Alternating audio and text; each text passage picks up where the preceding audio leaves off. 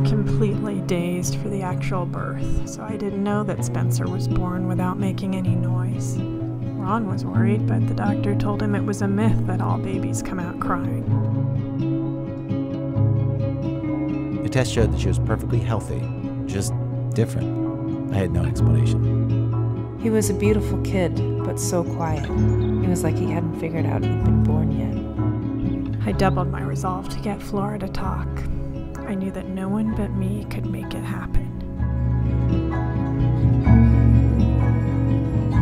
I had no idea where the silents would be, but I knew there were lots of them. I could feel it.